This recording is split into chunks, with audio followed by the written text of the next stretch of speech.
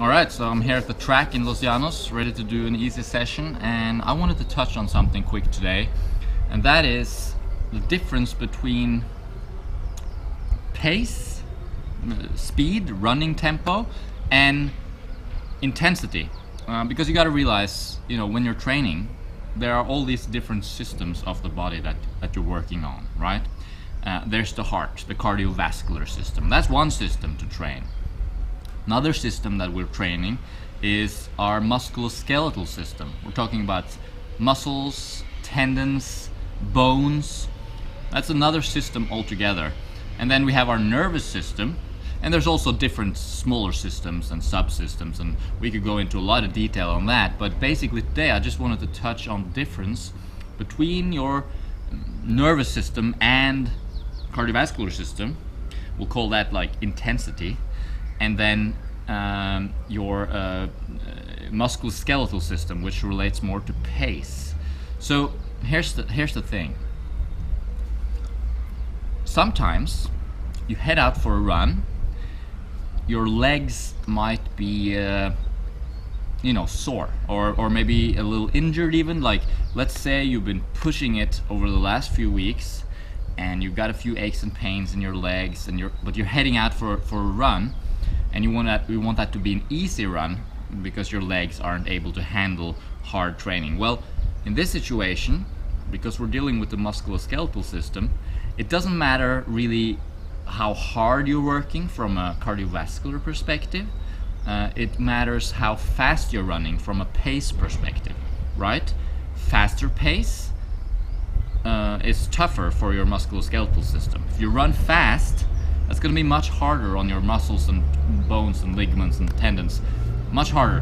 Whereas another time though, you might be, you know, your legs might be totally fine. You're cool with going at a at a higher pace, but your cardiovascular system, or, or more importantly, your, your nervous system maybe is tired. Let's say you've been training a lot for a few weeks. Uh, you you're fatigued.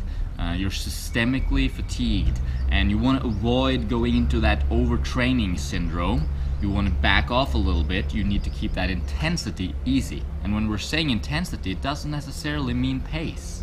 It means how hard your nervous system is, is sort of taxed. It means how hard your heart is working. So for example, if you're running downhill, you can run pretty fast because in terms of your cardiovascular effort, it's pretty low, right? My heart rate always goes down when I'm heading down right? So I can I can maintain a faster pace.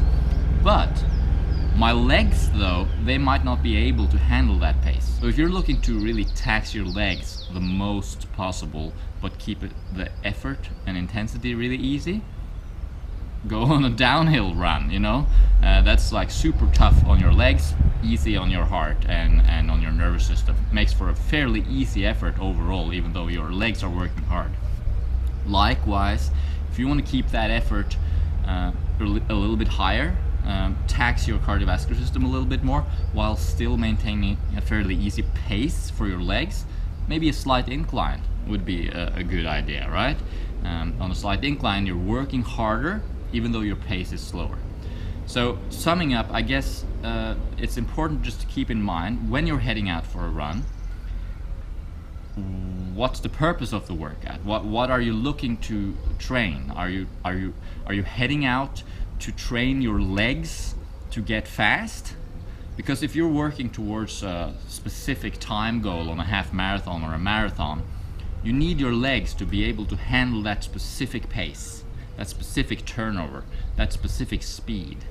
And the recruitment of muscle fibers, etc., will uh, be different at different speeds. So if you're aiming for one speed, you got to be able to handle that speed and that means you need to train at that speed. So sometimes it's very important that you're hitting the pace. You need to hit that pace. Doesn't really matter how much, you know, your intensity is at or how hard you're working.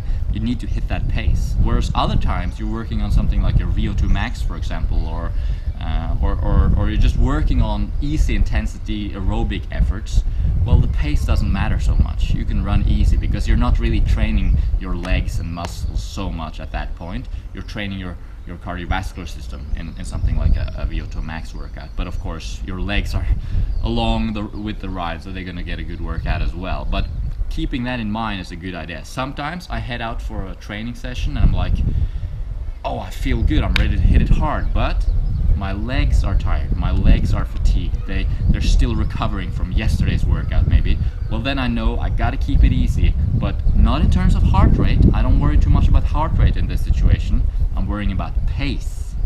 I, I don't want to get my pace too fast because that's gonna tax my legs too much, I gotta keep that pace easy. As I said, just summing up again, other times though, I might head out for a workout and my legs feel amazing, like I'm ready to hit it hard but I know that I'm fatigued from a systemic uh, nervous system point of view.